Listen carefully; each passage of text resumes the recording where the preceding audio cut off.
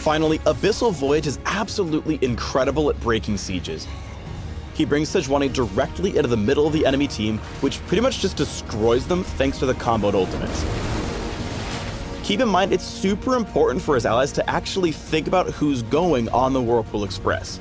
If Ezreal or Dre would have jumped in, they would immediately die and blame their team for the lack of peel. Thanks for tuning in to the Tahm Kench Champion Spotlight. Please subscribe to the Riot Games YouTube channel and leave us your comments just below the video. An appetite for chaos?